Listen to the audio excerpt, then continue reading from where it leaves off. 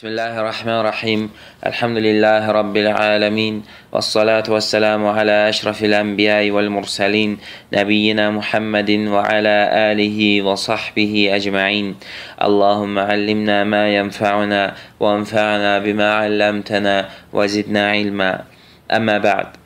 Keçən dərsimizdə orucun tərifini götürdük və həmçinin orucun bəzi əhkamlarını və orucun tərifində dedik ki, oruc fəcr çıxandan günəş batana qədər onu pozan şeylərdən uzaq durmaqdır. İndi də gəlin baxaq, orucu pozan həmin şeylər, həmin amillər nədir? Elm əhlinin ittifaq elədiyi orucu pozan amillər 6-dır. Yəni 6 şey var ki, onların orucu pozmasında alimlər ittifaq eləyib, icmadır. Birincisi cinsi əlaqə. Bu orucu pozan amillərin ən böyüyü və günahı ən çox olanıdır. Ramazan ayında oruç tutmuş kəs əgər gündüz vaxtı cinsi əlaqəyə girərsə, orucu pozular. Və buna görə onun üzərinə kəffarə vacib olar. Kəffarə də odur ki, bacarırsa mömin bir qul azad etməlidir. Yox, bunu bacarmırsa 2 ay dalbadal ara vermədən oruç tutmalıdır. Bunu da bacarmırsa, onda 60 kəsib doydurmalıdır. Bu kəffarə fəqihlərin terminologiyasında kəffaratun muğallallah, yəni qəlizləşdirilmiş kəffarə adlanır. Bu kəffarə o kəsə vacib olur ki, həmin gün oruc ona vacib olsun və o cinsi əlaqəyə girərək orucun pozsun. Amma əgər həmin gün ona vacib deyildisə oruç tutmaq, məsələn, səfərdə idisə, onda sadəcə həmən günün orucunu qəza edəcək. Yəni bu dediyimiz kəffarə ona vacib olmur. Buxari və Müslimin rivayet etdiyi hədisdə gəlib ki, bir kişi Ramazanda zövcəsi ilə əlaqəyə girir, yəni cinsi əlaqəyə girir və Peyğəmbərdən sallallahu əleyhi və səlləm bu barədə soruşur. Peyğəmbər sallallahu əleyhi və səlləm də ona belə deyir: Qul azad edə bilərsənmi? O da deyir, yox. Sonra Peyğəmbər s.ə.v deyir, 2 ay oruç tuta bilərsən? Deyir, yox. Peyğəmbər s.ə.v deyir, onda 60 kəsibi doydur. Və bu hədisdən də bizə ə, e, məlum olur ki, kim bilə, bilərəkdən Ramazanda cinsi əlaqəyə girərsə, onun kəffarəsi budur. Ramazanda gündüz vaxtı bilərəkdən bu əməli edən Rəbbinə tövbə də eləməlidir. Çünki haram iş görüb. Lakin Ramazanın gecələri isə, yəni iftardan səhura qədər olan vaxt, Allah Taala bu vaxtda qullarına zövcələri ilə cinsi əlaqəyə girməyə halal edib. O belə buyurub. Orucluq gecəsi zövcələrinizlə yaxınlıq sizə halal edilib. Bəqərə surəsi 187-ci ayə. Orucu pozan amillərdən ikincisi bilərəkdən məni ifraz eləmək. Yəni bilərəkdən sperma ifraz eləmək, çıxartmaq. Öpməklə, toxunmaqla və ya əllə və s. Allah Taala qüdsi hədisdə buyurur: O, yəni oruç tutan yeməyini, içməyini və şəhvətini mənə görə tərk edir. Hədisi Buxari rivayət eləyib və orucun fəziləti barədə danışanda bu hədisi qeyd eləmişdik. Və buradan da məlum olur ki, insan, oruc tutan, oruc zamanı şəhvətini tərk etməlidir. Həm cinsi əlaqəni, həm də belə şeyləri, yəni məni ifraz etmək də e, şəhvətə aiddir. Lakin məni çıxmadan öpmək və toxunmaq isə orucu pozmur. Buxari və Müslimdə keçən hədisdə Ayşə radiyallahu anhə belə deyir. Peyğəmbər sallallahu aleyhi və səlləm oruclu ikən öpərdi və oruclu ikən toxunardı. Yəni ərəbcə buna mübəşara deyilir. Yəni cinsi əlaqədən qabaq olan toxunmaq və başqa əməllər. Lakin o, yəni bu hədisin davamında Ayşə radiyallahu deyir ki, lakin o ehtiyacını ən yaxşı ehtiyacına ən yaxşı sahib çıxanınız idi. Yəni özünü tutmağı bacaran, nəfsinə qalib gəlməyi ən yaxşı bacaranınız idi.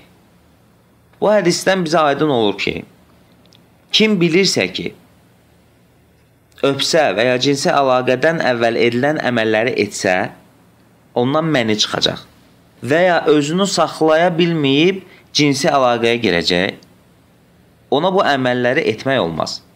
Lakin kimdə bu şeylər baş vermirsə və özünü saxlaya bilirsə, onun bu əməlləri etməsində bir problem yoxdur. O ki qaldı insan yatarkən və ya özündən aslı olmayaraq xəstəlikdən və s. ondan məni ifraz olunmasına bu halda da oruç pozulmur. Yəni qəssə eləmirsə, yuxuda və s. baş verirsə, oruç pozulmur. Həmçinin əgər insan fikirləşdiyinə görə ondan məni ifraz olunarsa, yəni yalnız fikirləşir, başqa heç bir şey etmir və bunun nəticəsində ondan məni çıxır. Bu halda da onun orucu batil deyil, onun orucu pozulmur. Və buna da dəlil Peyğəmbərimizin sallallahu aleyhi və səlləm Buxari və Müslimdə keçən hədisidir ki, o belə buyurur. Allah ümmətimdən fikirləşdikləri şeylərə görə günahı qaldırmışdır. O vaxta qədər ki, əməl edə və ya danışa, yəni dilinə gətirə. Və bu da ona dəlildir ki, bir insan fikirlərinə görə cəzalandırılmır. Allah Taala o fikirlərinə görə onu cəzalandırmır. O vaxta qədər ki, o fikirləşdiklərini həyata keçirsin, ya danışsın, ya da əməl etsin. Onda artıq o danışdıqlarına və ya əməl etdiklərinə görə cavab verir. Və bu da Allah Taala bizə verdiyi asanlıqlardan ən böyüklərindən biridir. Sonra orucu pozan amillərdən üçüncüsü yemək və içmək. Allah Taala buyurub: Dan yeri söküləndə ağ sap, yəni şəfəq, qara sapdan, yəni gecənin qaranlığı seçilənə qədər yeyin və için. Sonra gecəyə dək orucunuzu tamamlayın. Bəqərə surəsi 187-ci ayə. Və bu da dəlildir ki, oruc ikən iftara qədər, yəni yemək və içmək orucu pozur. Və burundan suyun və ya dərmanın və ya hər hansı başqa bir şeyin insanın içinə, yəni insanın mədəsinə getməsi də orucu pozur. Çünki bu da yemək içmək kimidir, onun hökmündədir. Peyğəmbər sallallahu əleyhi və səlləm səhabiyə belə demişdi. Oruclu olmayanda dəstəmazda burnuna suyu çoxlu al. Bu hədisi Əbu Davud, Tirmizi, Nəsai, İbn Məcə və Əhməd rivayət edib və Tirmizi səhih olduğunu deyib. Və bundan da biz başa düşürük ki, oruclu ikən dəstəmaz alanda diqqət etmək lazımdır. Buruna suyu alanda çox almaq lazım deyil. Çox almaq olmaz ki, birdən içəri gedər su. Və həmçinin də bunun hökmündə də burununa tökülən dərmanlar, damcılar və s. şeylər də bunun hökmündədir. Lakin iy, iyə gəldikdə isə hər hansı bir iyi qoxlamaq orucu pozmur.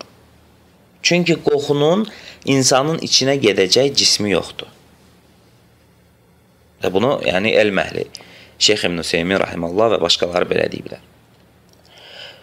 Orucu pozan amillərdən dördüncüsü yeməyin və içməyin mənasında olan şeylərdir. Buna da qidalandırıcı iynələr, sistemlər və s. aiddir. Çünki onlar da yemək və içmək kimidir, onu əvəz eləyirlər. Xəstə yeməmiş, içməmiş günlərlə, bəlkə aylarla yatır və iynələr vasitəsilə onu qidalandırırlar. Və bəzi alimlər də iynə ilə insana qan köçürülməsini, insana qanın vurulmasını da buna aid eləyiblər. Və sonra qeyd eləmək lazımdır ki, qidalandırıcı olmayan iynələr istər damara vurulsun, istərsə əzələyə orucu pozmur. 5-ci amil, orucu pozan amillərdən 5-incisi bilərəkdən qusmaqdır. Peyğəmbər sallallahu əleyhi və səlləm buyurub: Kim istəmədən qusarsa, qəza etmir. Qəsdən qusan isə qəza etsin. Hədisə Əbu Davud, Tirmizi, İbn Məcəh və Əhməd rivayət edib və Hakim səhihdir.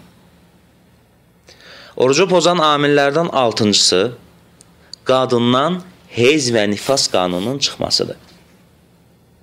Heyz və nifas qanunun çıxmasıdır. Heyz qadından hər ay müəyyən günlər ərzində gələn qandır. Nifas isə doğuşdan sonra gələn qandır. Peyğəmbər sallallahu aleyhi və səlləm belə demişdi. Məyər o, yəni qadın, heyz olanda namazı və orucu tərk etmir və bu da dəlildir ki, heyz və nifas olan qadın bu hallarında orucu və namazı tərk edirlər. Onlara oruc tutmaq və namaz qılmaq olmaz. Və keçən dəfəki dərsdə də götürmüşdük ki, sonradan onlar namazı qəza etmir, lakin orucu qəza edirlər. Və bu da Ayşə radiyallahu anhənin hədisində gəlir. Qadın nə vaxt o qanı görərsə, ya o, o iki qandan birini görərsə, orucu pozulur. Bu günün sonunda olsa belə. Beləliklə bu 6 amilin orucu pozmasına dair İmam Nəvəvi rahimehullah icma nəql edib. Və ona görə də əvvəldə qeyd etdik ki, bu 6 amil icma ilə alimlərin ittifaqı ilə orucu pozur. Başqa bir amil də var ki, 7-ci, bəzi alimlər İmam Əhməd və başqaları onun orucu pozmağını demişdilər. Və bu da hicamədir, yəni qan aldırmaq.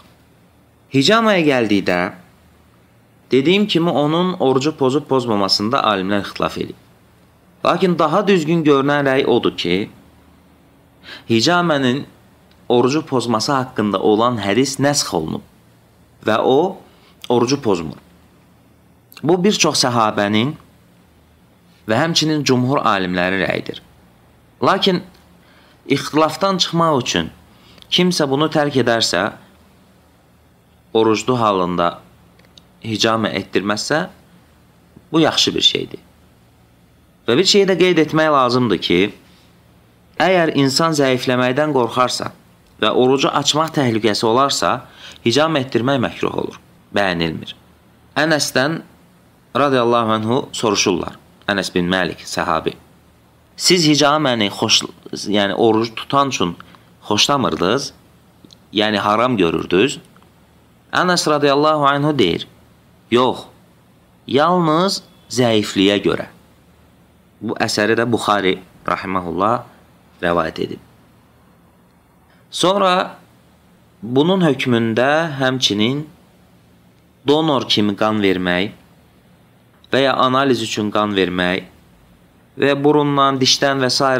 qan gəlməsini qeyd eləmək olar. Yəni bunların heç biri orucu pozmur. Allah daha yaxşı bilir.